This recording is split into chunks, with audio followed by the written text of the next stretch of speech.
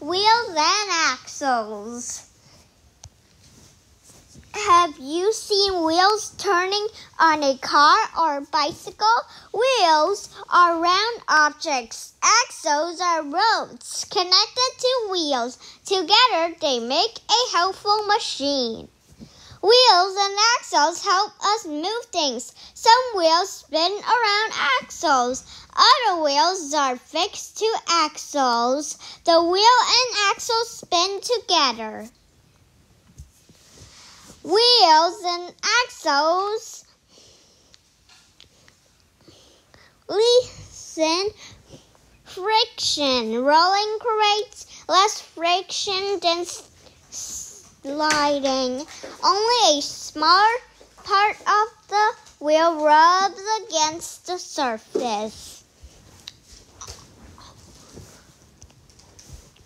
Fixed wheels and axles trade energy. Turning an axle makes the wheel turn faster. It takes a lot of for force.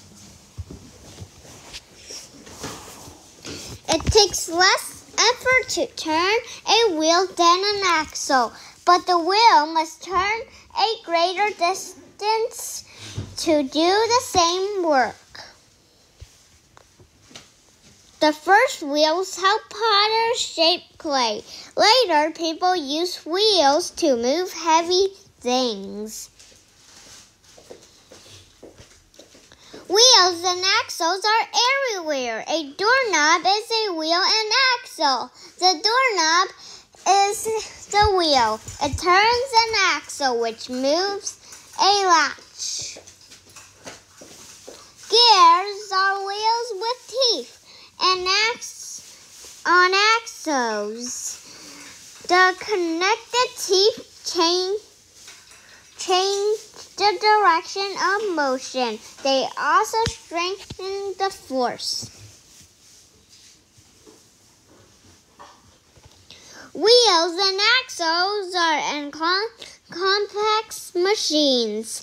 A bicycle has wheels and axles. The they help bicycles move. Gears also increase a bicycle's speed. Wheels and axles keep things rolling along.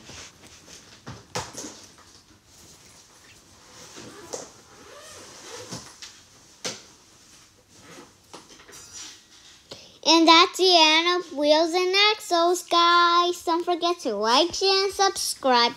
Turn on the notification bell, and I will see you.